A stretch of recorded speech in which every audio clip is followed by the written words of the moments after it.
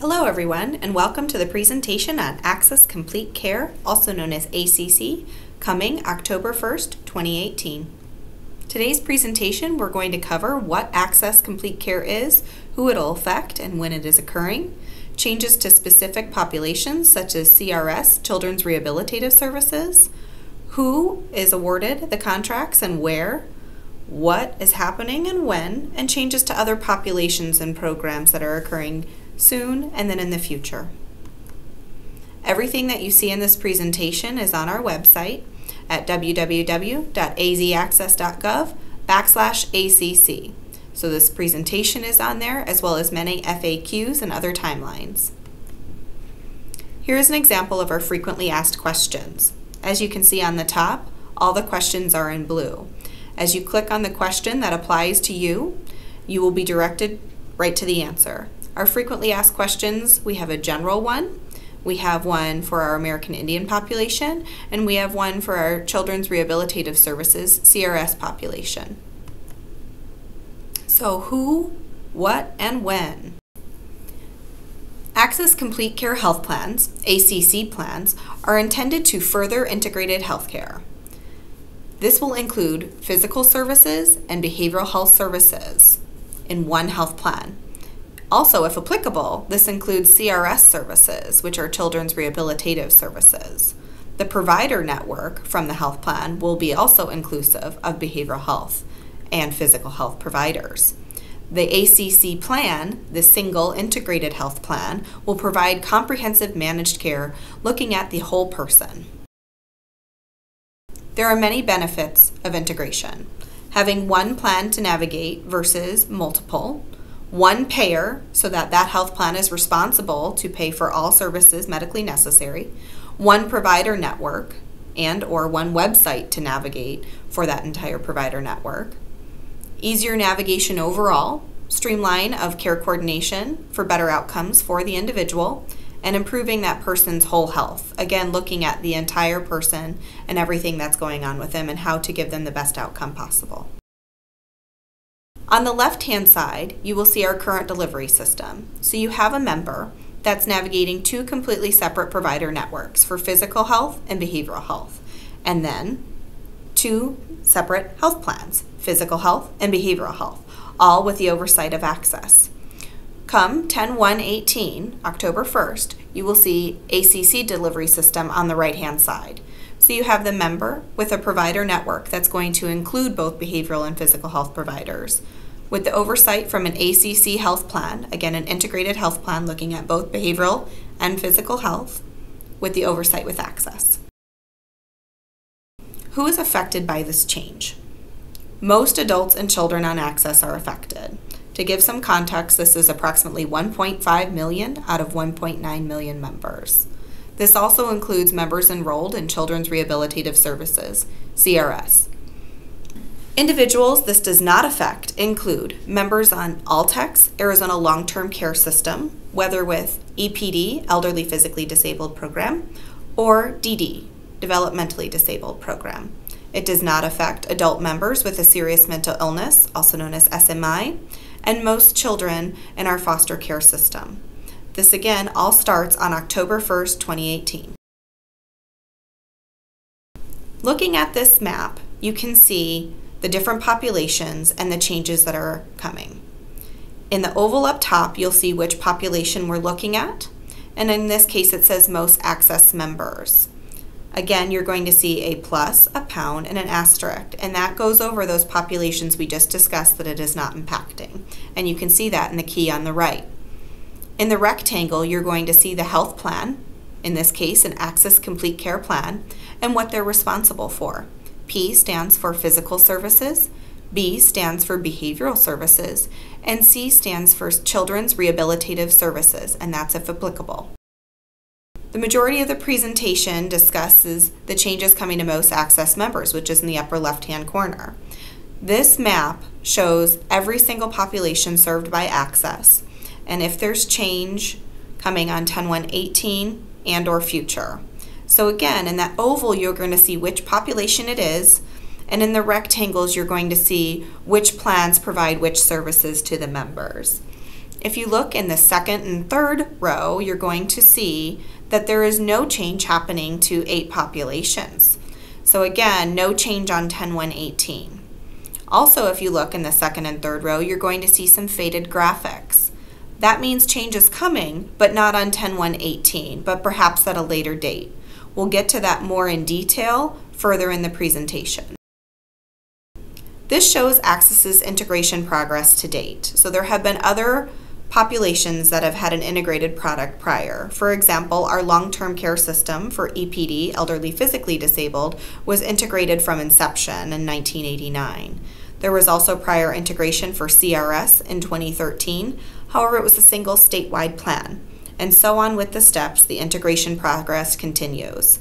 What we're focusing today is the upper right-hand corner, which is going to be what's occurring on 10.1.18 for most adults and children on AHCCCS, again, approximately 1.5 million members. Who and where are the ACC plans that were awarded? Here is the map that shows the geographic service areas. Many of you may know this as GSAs. Please note that the map for ACC, AHCCCS Complete Care, has some changes to the central region that many of you may notice a difference. The central region is inclusive of Maricopa, Pinal, and Gila. Then there's the northern region and the southern region. Here are the awards. In Central GSA, Geographic Service Area, you have seven plans awarded. In the southern region, you have three plans awarded. One plan is specific to Pima.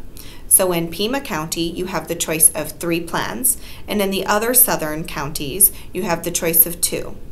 In Northern GSA, you have two plans. This is a different way of looking at the awards. This shows in each area who's coming, who's going, and what are some of the dynamics of this transition. An A stands for an awarded contract. That means that that health plan was awarded a contract in that area. Keep in mind, Central is including Pinal and Gila. An E stands for an exiting plan. So that means that that plan today is in that area serving AHCCCS members. However, on 10.1.18 will no longer be in that area. And N stands for new. And then there are also some nuances in the central to pay attention to. So those that say A with two stars, so Banner University Family Care, is new in Maricopa County only. So that means that they've already been in Pinal and Gila, and they will be also joining now Maricopa County. A with three asterisks means they are only new to Pinal and Gila counties. So they have already been in Maricopa and now they will be joining in Pinal and Gila come 10-1-18. Please also note in the southern region for the one asterisk that United Healthcare Community Plan is awarded in the southern region for Pima County only. This slide looks at our projected membership for this transition on 10-1-18. Again, this does not take into account membership choice. So it's important to know that this is just an estimation of prediction for the transition. So in the central region, approximately 10,000 members will be transitioning on 10-1-18. In the southern region, almost 200,000, 100,000 of those being in Pima County. In the northern region, approximately 83,000, and again, in total, statewide, looking at a transition on 10-1-18 of approximately 300,000 individuals. This is a different way of looking at the projected membership and changes coming. In the blue, you will see that plan's current membership statewide. In the red or maroon color, you will see the estimated ACC plan membership on 10-1. So this uh, solely looks on 10-1 and it does not also take into account membership choice. These are simply estimations. This slide looks at our current care delivery system and all of our lines of business, our fee-for-service, behavioral health, acute, and our long-term care system. This is today prior to 10-1. The following slide will look at 10-1-18 changes. On this slide, you're going to see in the middle some changes. You will still see the RBHAs, Regional Behavioral Health Authorities, and their current names as well as their incoming RBHA change names. We will get to more on that later. You will also see a line for AHCCCS Complete Care, which is no longer just acute. It's going to be an integrated product of physical, behavioral health, and CRS services. Those that are colored in a slight yellow are going to show you the AHCCCS Complete Care plans and their RBHA affiliated plans. What's coming next? The awards were announced on March 5th, 2018. You can see a link to our news announcement should you choose. There is also going to be several public forums throughout spring 2018 to let providers, members, and contractors know of changes that are upcoming. In June, AHCCCS will be sending the letters to members with choice, and in July, members will be making their health plan choices and that will be by July 31st. Again, all of this is to begin the transition for AHCCCS Complete Care on October 1st, 2018, to the integrated ACC health plans. It is very critical during all of this time that individual members have current addresses on file. So if you need to report an address change to make it current, you can go to www.healthyarizonaplus.gov as listed on this slide click My Account, My Household, and Report a Change. You will then say if you're an individual that had moved or household that had moved, and once you click Next, you simply enter your address. This process is very critical to ensuring members with choice get their letters. Members that are currently in a health plan that will also be an ACC, AHCCCS Complete Care Plan, in their area will stay with their plan for October 1st, 2018. They will still have choice of other ACC plans on their annual enrollment choice date. If a member is currently in a health plan that will not be an ACC plan in their area, they will be assigned an ACC plan, but have the entire month of July to choose a different ACC plan in their area should they choose. Again, members with choice will receive letters from AHCCCS with assignment and choice options in June, and they may select a different plan by July 31st, 2018. Certain members that previously received services with the RBHA, which is the Regional Behavioral Health Authority, have a one time choice on 10 1 to stay with the RBHA affiliated ACC contractor. So, this wouldn't be necessary if the acute plan that you're already with is the affiliated RBHA plan, or if the plan that you're with is exiting because you already have a choice of all of the plans. So, this situation really applies when your acute plan is not the RBHA affiliated ACC plan and is remaining in your area. The RBHA affiliated ACC plans are as follows it shows you by region, Northern, Central, and Southern, the current RBHA name, and the RBHA affiliated ACC. So for the North, what you know is HCIC, Health Choice Integrated Care. The RBHA affiliated ACC will be Steward Health Choice Arizona. Mercy Maricopa Integrated Care, MMIC, the RBHA affiliated ACC is Mercy Care. For Cenpatico Integrated Care, CIC, the RBHA affiliated ACC is Arizona Complete Health. It's important to know these name changes. The following slides are going to discuss Children's Rehabilitative Services, CRS changes. CRS members will now have a choice of an ACC plan. Members that are currently enrolled with CRS will receive all their physical health and behavioral health services from an ACC plan. So again, another integrated product, but a choice of plan. CRS members will continue to be identified and designated by AHCCCS. Children that are in foster care with CRS conditions will receive physical health services, including anything for CRS conditions, from CMDP. Behavioral health services will transition to the RBHA. In 10 1 2020, as you can see in the faded graphic, there are further integration plans for DCS CMDP. We will get to more on that later. CRS members that are also enrolled with DES DD will continue to receive physical and behavioral health services through United CRS. There's further information on DDD's website on the blue hyperlink to see their plans for future integration as well, planned for 10 1 2019. CRS members that are determined SMI, seriously mentally ill, and not enrolled with DESDD will be moved to the RBHA for integrated services. So the RBHA will be responsible for physical health services, behavioral health services, and CRS services. This change is only for SMI CRS members. The following slides will discuss American Indian Health Program changes and changes for the American Indian population. Changes for American Indian Health Program, also known as AIHP. AIHP will now pay for and manage care for physical and behavioral health services, so an integrated product. They will pay for and manage care for CRS services wherein applicable. The RBHAs, Regional Behavioral Health Authority, and TRBHAs, Tribal Regional Behavioral Health Authorities, will continue to serve American Indian members designated as SMI, seriously mentally ill. AIHP will also manage care with TRBHAs, Tribal Regional Behavioral Health Authorities, when available and the members enrolled in the TRBHA. Integrated choices for the non SMI populations will be available with AIHP, or AIHP and the TRBHA, or an ACC plan.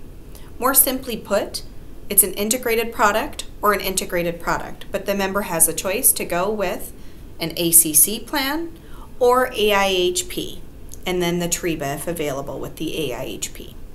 All American Indian members can still access services from an IHS 638 facility regardless of their enrollment at any time. Tribal members will continue the same frequency of choice options that they have today, as well as annual enrollment options continuing. This slide looks at specific transitions for American Indian populations. This again is going to be an estimation and will not take into account member choice. On the bright blue in the left-hand side, you're going to see the current health plan enrollment and assignment. In the middle, you will see the projected transition and on the far right, you will see the approximate number of members transitioning statewide. Please note there are three areas here that have no change, and it's indicated as such. Other things to be aware of during this transition. Regional Behavioral Health Authorities, RBHAs, will no longer serve most adults and children as of October 1st, 2018, but there are some exceptions. Behavioral health services will be provided through an AHCCCS Complete Care ACC plan. RBHAs will continue to provide and serve foster children enrolled in CMDP, members enrolled with DESDD, individuals determined to have a serious mental illness, SMI. They will also be responsible for crisis services, grant funded services, and state only funded services. The crisis system responsibilities will remain with the RBHA as indicated on the prior slide, and in their respective GSA, Geographic Service Area, areas. So please note, Maricopa is central, Gila is with the north, and Pinal is with the south. Continuity of care is incredibly important during this transition. For transitioning members, ACC plans are required to allow members receiving behavioral health treatment to continue to access specific providers as listed in treatment plan for the duration of six months or their treatment, whichever occurs first. The provider does have to agree. Also, ACC plans must allow members with CRS qualifying conditions in an active course of treatment on their plan, if agreed by the provider, for the duration of treatment or six months, whichever occurs first. Each ACC plan is required to have a Medicare Advantage DSNP, dual special needs option, to offer alignment to members that have both Medicaid and Medicare. Members with health plan changes may need to make future changes to their Medicare enrollment to continue to be aligned if they choose to do so. What's in the future? This slide looks at an AHCCCS contract timeline, all the different contracts and transitions going on applicable to our members. Right now, we're focused on the purple maroon color, which are all the efforts for transitioning ACC. CMDP will be managing CRS services for members starting on 10 1 18. Again, CMDP is our foster children health plan. AHCCCS and DCS are looking at future integration opportunities, and that plan is for 10 1 20. There's a large, robust Mercer analysis on our website that you can get by this hyperlink. So if you look at the bubbles on this slide, you're going to see no change for children in foster care. Physical health will be through DCS CMDP. Behavioral health will be through the RBHA. And again, move towards integration is planned for 2020. Children in foster care and CRS will be receiving physical and CRS services from CMDP and behavioral health services from the RBHA. And again, looking at that integrated product for 2020. In regards to integration efforts for DDD, they are working on an RFP process for furthering integration, and that's planned for 10 1 19. Here is a hyperlink to further information on these efforts. Thank you for joining us today and learning about AHCCCS Complete Care, ACC. And thank you for being a part of the education efforts for our transition for 10 1 18.